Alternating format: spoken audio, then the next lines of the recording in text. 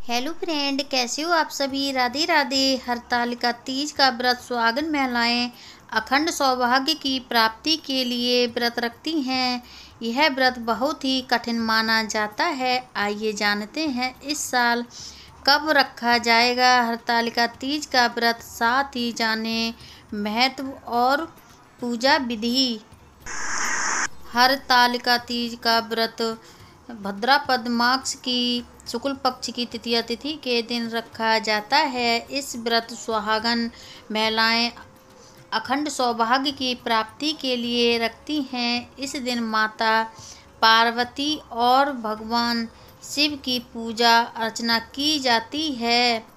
यह व्रत बहुत ही कठिन होता है क्योंकि यह निर्जला रखा जाता है। यह व्रत खास तौर पर राजस्थान, उत्तर प्रदेश, मध्य प्रदेश बिहार और झारखंड में रखा जाता है। आइए जानते हैं, इस साल हर तालिका तीज का पर्व कब मनाया जाएगा और इसका पौराणिक महत्व क्या है?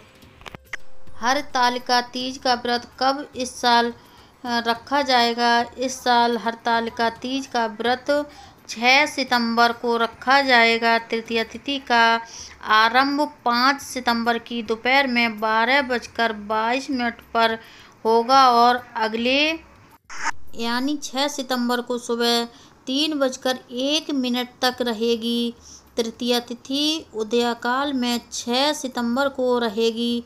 ऐसे में हर तालिका तीज का व्रत छः सितंबर को रखा जाएगा। हर तालिका तीज, व्रत, पूजा विधि हरतालिका तीज के दिन। सुबह स्नान आदि के बाद भगवान शिव, माता पार्वती और गणेश जी की मिट्टी से प्रतिमा बनाएँ।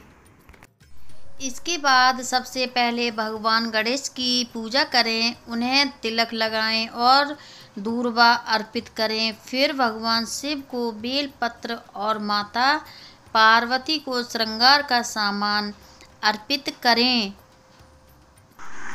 इसके बाद सभी को वस्त्र आदि अर्पित करें और इसके बाद हरताल का तीज व्रत, कथा का पाठ करें।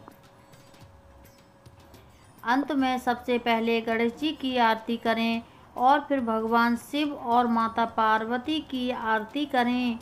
इसके बाद सभी को प्रसाद दें। हरताल का तीज का महत्व हरताल का तीज का महत्व बहुत ही खास माना जाता है। इस व्रत को सुहागन महिलाएँ सौभाग्य की प्राप्ति के लिए रखती हैं और मिट्टी की भगवान शिव और माता पार्वती की प्रतिमा बनाकर कठोर तप करती हैं। इस व्रत में पानी नहीं पिया जाता है, साथ ही रात्रि में जागकर भगवान शिव और माता पार्वती का जागरण किया जाता है। तो फ्रेंड ये जानकारी आपको कैसी लगी? मुझे कमेंट करके ज़रूर बताएँ। वीडियो को ज़्यादा से ज़्यादा लोगों में शेयर कर दें। चैनल पर पहली बार आए हो तो चैनल को सब्सक्राइब कर लें। धन्यवाद।